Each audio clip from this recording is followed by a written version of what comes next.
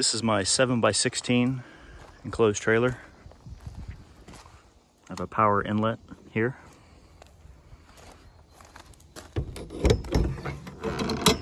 I'd much rather have a latch door handle, but gotta do what you gotta do. So the power comes in down here to a couple of receptacles. Got a breaker box. Also with some receptacles. Light switch. And then lots of Milwaukee. Keep a generator if I'm somewhere where they don't have power. T-Mobile internet Keep, keeps me connected on all the job sites. Got drills, a cooler, vacuum, stapler and hammers, various cutting tools, drills and ratchets.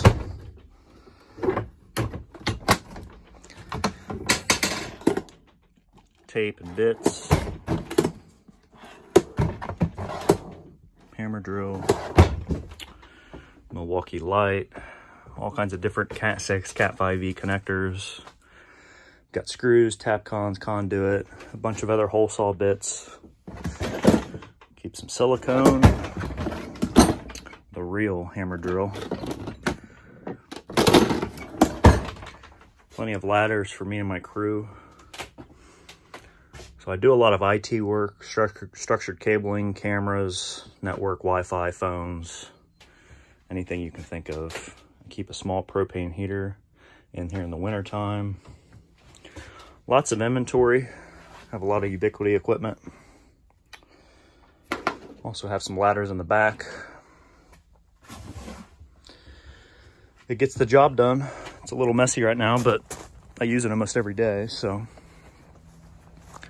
I keep puck locks on the back. And I just overall try to keep it kind of inconspicuous. I've got a lot of money tied up in here, so it works.